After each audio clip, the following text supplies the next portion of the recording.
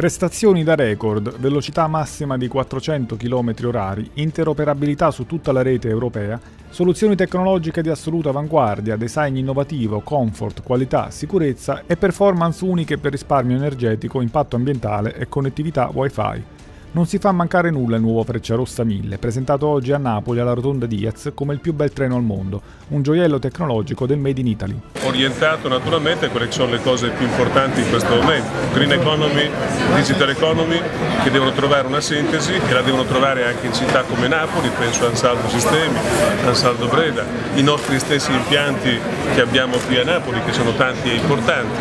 e quindi riescano a disegnare un futuro completamente nuovo. Il treno resterà sul lungomare fino a domenica 9 dicembre, nel villaggio Frecciarossa 1000, dove i visitatori potranno simulare il viaggio con filmati e giochi interattivi, fra mostre fotografiche ed incontri con ingegneri ferroviari che risponderanno alle domande del pubblico. Per l'occasione è stata prevista anche l'apertura straordinaria del Museo Nazionale Ferroviario di Pietrarsa ad un costo ridotto ritirando il biglietto nel villaggio treno molto bello, i tempi mi pare di capire sono anche abbastanza rapidi ed è importante che si vada verso il trasporto su ferro, del resto anche noi qui a Napoli puntiamo sul trasporto pubblico, puntiamo molto sulla metropolitana, abbiamo avuto questo riconoscimento del Telegraph l'altro giorno sulla stazione più bella d'Europa di Via Toledo, abbiamo realtà importanti come Ansaldo, quindi siamo contenti, siamo contenti perché significa impresa, innovazione, sviluppo e posti di lavoro, che è la risposta migliore alla crisi.